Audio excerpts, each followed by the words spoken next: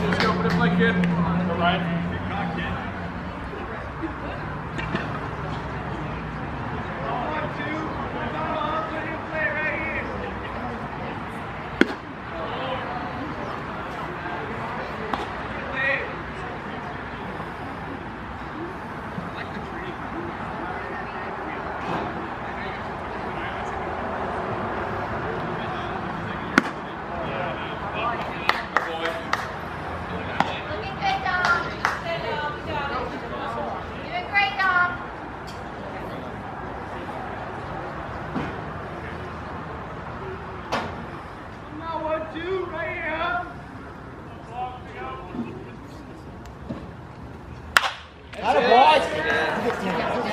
Yeah.